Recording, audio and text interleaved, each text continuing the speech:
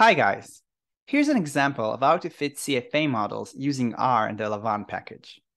We'll first load the necessary libraries. Lavaan, which stands for Latent Variable Analysis, and SEMplot, which we will use to plot the model.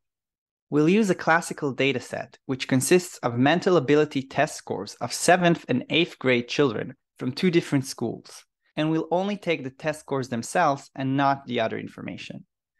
Our hypothesized model will include three latent variables, visual, textual, and speed. We set the model as a string where each latent factor is manifested by observed variables, and we represent the manifested by using the equal tilde symbols. We can fit a simple CFA model to the data using the CFA command and passing the model string and the data, or by passing the covariance matrix and the number of observations instead. We can then view a summary of the results using the summary command. The output gives us the estimated method, in this case maximum likelihood, the optimization technique, the number of parameters estimated, the number of observations. There's also a basic chi-square goodness of fit test. The main outputs are the coefficients themselves, their standard errors, and their p-values, which tells us which coefficient seems to be significant, and also their magnitude.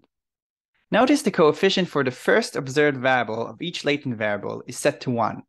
We mentioned in the theoretical video that this is done to set the scale of the latent variable. If we wish to leave the parameters free and set the factor variances to 1 instead, we can either use the following cumbersome code, multiplying the first observed variables with NA and multiplying the variances with 1, or use the shortcut specifying std LV equal true. Notice that now the output gives us estimates also for the first observed variables, but not for the variances, which are set to 1. We can also impose zero correlations by specifying 0. If we want to apply this to all the factors, we can use the shortcut orthogonal equal true. Notice that now the covariances are set to zeros.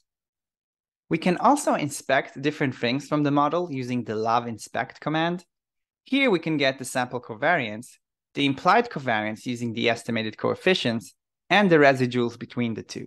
We can also get the estimates and extract them to use in further manual computations. Finally, this is how I plotted the model using semPaths command from the SEMplot library. The important argument is the fit. The rest are just graphical options of what and how to plot. That's all for this video. See you in the next one.